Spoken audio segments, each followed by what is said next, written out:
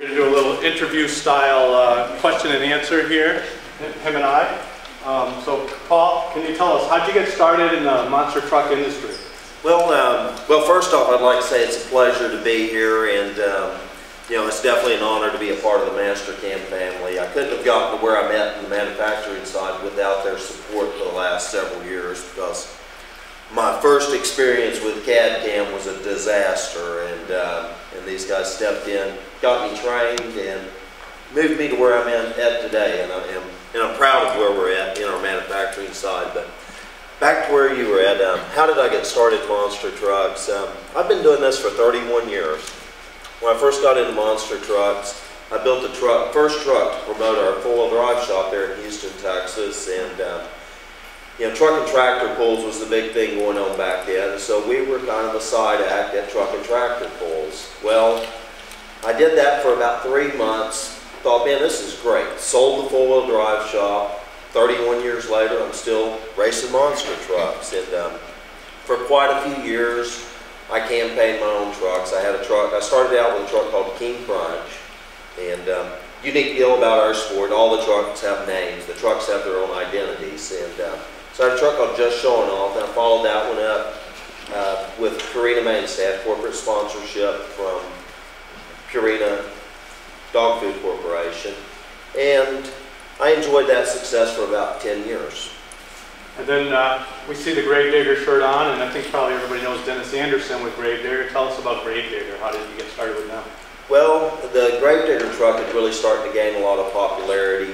You know, in the in the 10 years while I was campaigning my own trucks, uh, the fans were really getting behind the Gravedigger truck, and you know, it had become very popular. Well, due to popular demand, there was another promoter that was putting on some events, and he got with me and he said, "Yeah, I really wanted to have a Gravedigger truck at my shows, and you know, but they're all booked up." And I said, "Well, let me talk to Dennis Anderson and, and see if I can put a deal together." So I spoke with Dennis Anderson, with the, the owner of the Gravedigger team at the time, and he kind of stepped out on a limb with me. He said, "Well, let's put a Gravedigger body on your truck and we'll run it for 10 shows and see how that works out."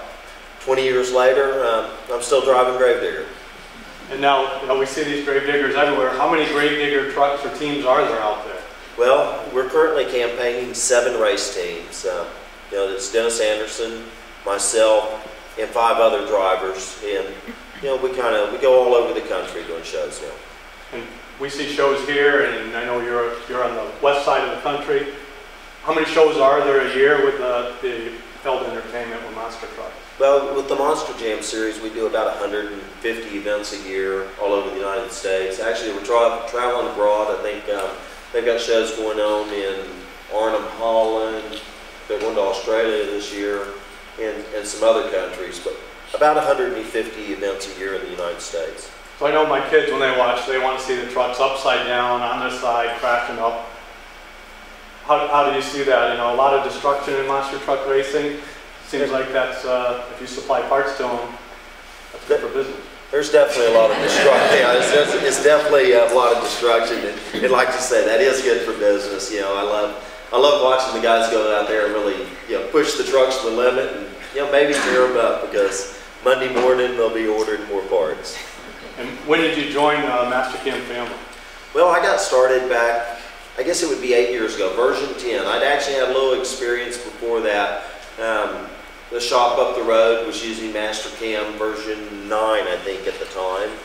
And one of the guys that worked there came over to my shop in the evenings and he would help, you know, get my machines set up and running, you know, program the parts for me. I had no clue about CNCs. I, I can tell you how I got into CNCs is I was always held hostage by other shops um, needing me to, you know, I need to get parts made my business had grown to a point where I could no longer you know, keep up with manual machines. So I was outsourcing my CNC work and I was always falling you know, victim to you know, time scheduling. And plus I would only want 20 pieces of this, 20 of that. And my lead times were real long, the cost was prohibitive.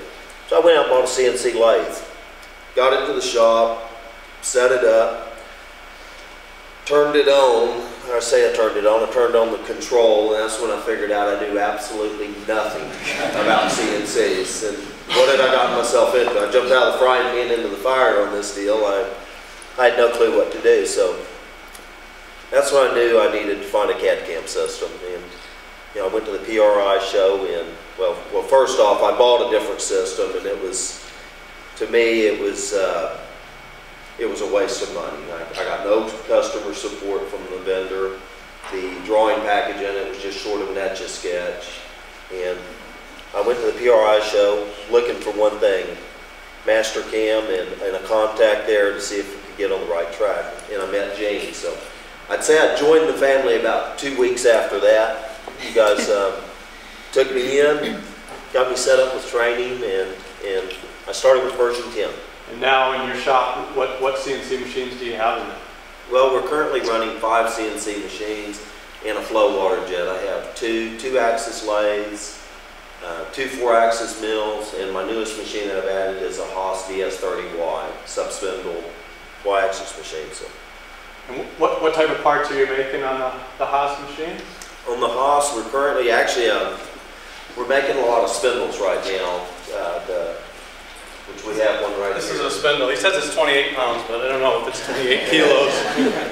Well, it's about 28 pounds now, but uh, when that starts, it starts out as a 160 pound um, billet slug. And we're running that on the Haas. Uh, we're doing all the turning operations, you know, op one, op two, uh, the bolt pattern. Now, the only thing that I'm not doing on the Haas on that piece is, is the splining. And you're using Mastercam to program all of that. I master, I use Mastercam every day. Um, you know, kind of my, you know, it's, it's kind of a tagline to me, but it's the truth. Is Mastercam's the tool I reach for most often, every day in my toolbox. I use it in, in every facet of what we do, whether it's it's designing these parts, redesigning them. You know, because I do a lot of redesign. We change what we've got.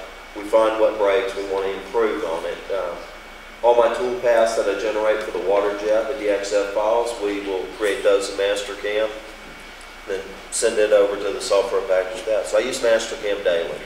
And I see there's a monster truck shock absorber in the other room, so if you guys haven't seen it, go over and take a look at it. But how many machine parts are in there that you've made with Mastercam in a shock absorber? Um, one of those, uh, the stage three shock like I have next door, which is a 26 inch travel shock absorber, it's a nitrogen shock. It's about 40 machine components to put together one shock absorber, and there's eight on a truck. And every single part on that is, is designed in toolpath in Mastercam. Excellent. And how many other parts on the truck do you think you make, you know, with Mastercam and sell to your competitors? Eh, Well over a hundred. Um, You know, I have probably more than a hundred different components. The shocks, you know, that's, say, forty pieces right there, but I consider that to be one item. And, uh, you know, we have all the weld-in frame bushings, uh, ring and pinion supports, just, it's a multitude of parts, crank drive components. A lot of my, a lot of my stuff is standalone, it's one-offs, uh, a one-off piece as part of an assembly, and then there's, there's large assemblies that are, you know, a bunch of parts put together. And you guys have a big race of the year. What's that biggest race and how does that work out for you? How do you get in it? Well, kind of, the mecca for monster trucks is the, is Las Vegas, Nevada. That's where we do our world finals every year. And, um, actually, uh, I won in 2007. I was world freestyle champion, and this year I actually finished second place. But that's quite a show. Um, it's, uh, this past year, 24 trucks over a three-day period competing for, um, two nights. And next year, it's a three-day show, 32 trucks. So we have, we have customers, or not customers, but our fans come from all over the United States, and I think from seven foreign countries to, to come watch the event. So it's, it's a lot of fun. All right. Well, thank you, Paul. Thank you. Thank you, everybody.